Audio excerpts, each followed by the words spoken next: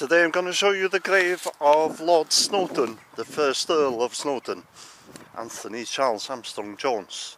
He's portrayed in the Netflix series The Crown in season 2 and also in season 3. He was married to the late Queen Elizabeth's sister, Princess Margaret, from 1960 until 1978. You've got the town of Caernarfon down there. In Welsh tradition, it's the birthplace of Magnus Maximus, who was the Roman Emperor of the Western Roman Empire from 383 AD to 388 AD. Caernarfon actually appears in the crown. Caernarfon Castle was the scene of the controversial investiture of, of the then Prince Charles as Prince of Wales. The events are reenacted in season 3 of The Crown, with filming being done in the exact spots where the original event took place. Oh, that little castle up there is not a proper medieval castle, it's just, it's just something that was built in the Victorian era. Anthony Charles Robert Armstrong Jones, known to his friends and family as Tony, the son of a Welsh barrister and an English mother. He was the first non-aristocrat to marry into the British royal family in 400 years. He met Princess Margaret in 1958, but he was already known to the Queen and Prince Philip, having photographed them in the grounds of Buckingham Palace. When he married Princess Margaret in February 1960 at Westminster Abbey, it was the first royal wedding to be televised. He continued to be a favoured photographer for the royal family, even after a messy divorce from Princess Margaret. After their divorce in 1978, he married his second wife, Lucy Lindsay Hogg, in the same year. Okay, I'm about two miles away from Caernarfon now. And this area is called the Foryd. And Lord Snowdon was buried in a church that's just behind me here. I'll show you in a second. It's a little bit unusual because it's um, an isolated church with no road access. So you have to walk across the field to get to it. And it's appropriate that he's buried here because he used to love walking along this road here. Okay, here's the church. Llanfaglan Church.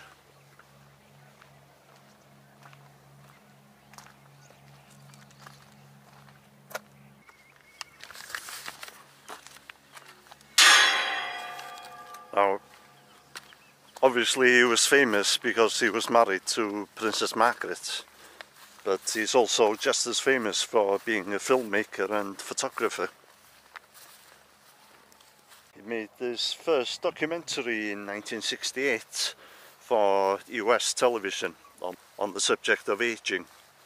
It was called Don't Count the Candles and it won two Emmys but he's better known as a photographer I think than a filmmaker.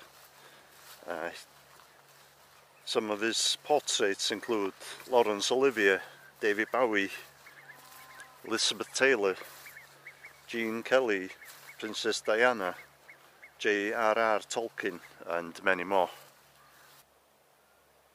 I'm not entirely sure which way you go in, I think it's probably this way. Have a look. He also worked with the rock band Queen.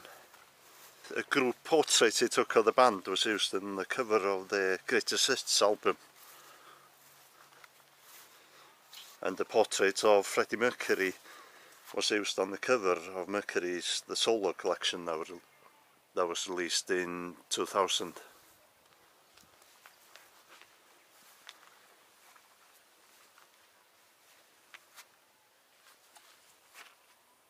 1722. This is locked. Yeah.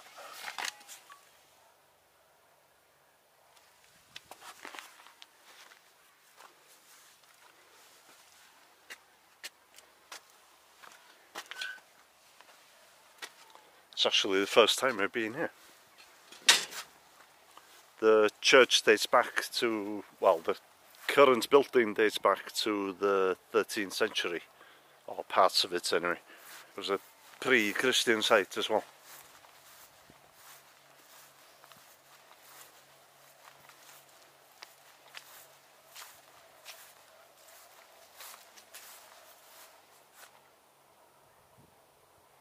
Oh, look.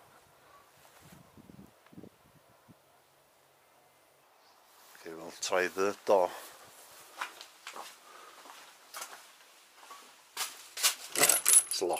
I think I'm too early. Damn. Uh, but I'll find some photos of what it looks like inside and I'll show you those.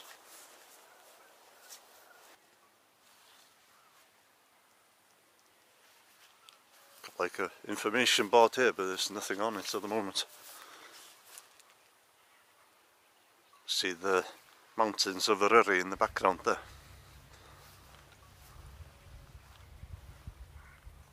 Amazing place.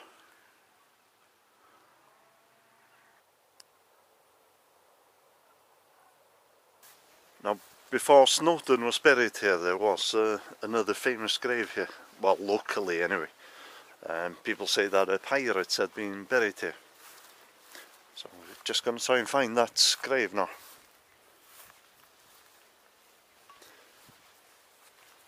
Well, the grave of the pirate is quite close to the church itself, I believe. And once you see the grave, you'll know why people think there was a pirate buried here. Just hope I can find it. Ah, I think it's this. Okay, that was going to be quite hard to make out, but see the hat there. It's got looks like it's got a pirate hat, and there's uh, crossbones, and there's crossbones here. I've tried to find out what the story is with this grave, but um, can't find anything at all. So it's always going to be known as the pirate's grave.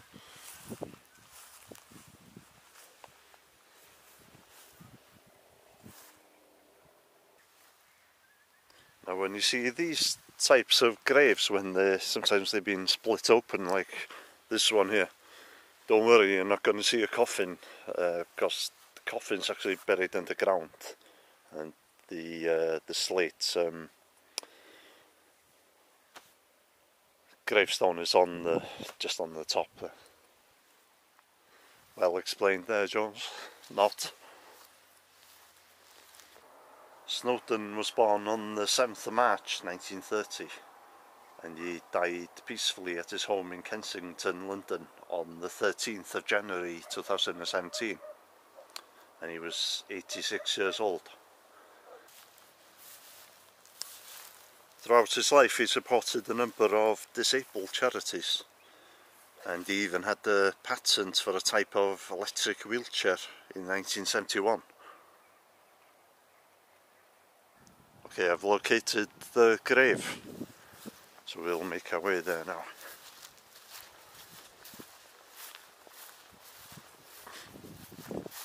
On the day of his funeral, there was only a small gathering of mourners, just friends and family. And of course they had to come across the field and they brought the coffin in the back of a Land Rover. And as they were coming across the field, the bell of the church, the single bell, was ringing.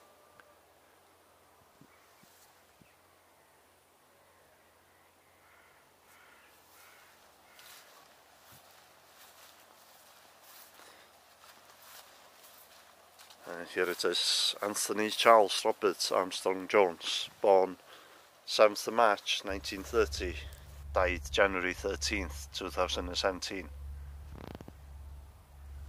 It's got, um, I take it this is the coat of arms of the Snowden family. And his uh, signature there in red. It's a slate head, well I think it's a slate headstone here.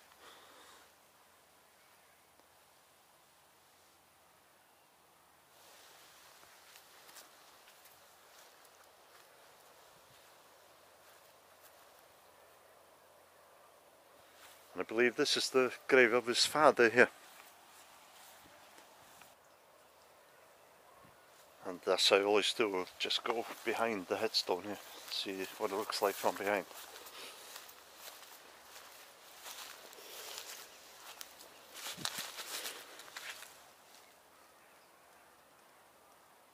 Okay, just a quick update on the channel.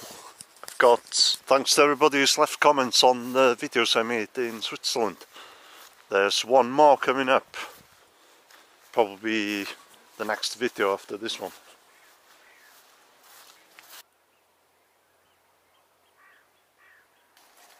I'm to try and make it back to Switzerland at some point because there's lots more videos I want to do there. But I'll probably be going to another country before then. Okay, thanks for watching. We'll see you in the next one.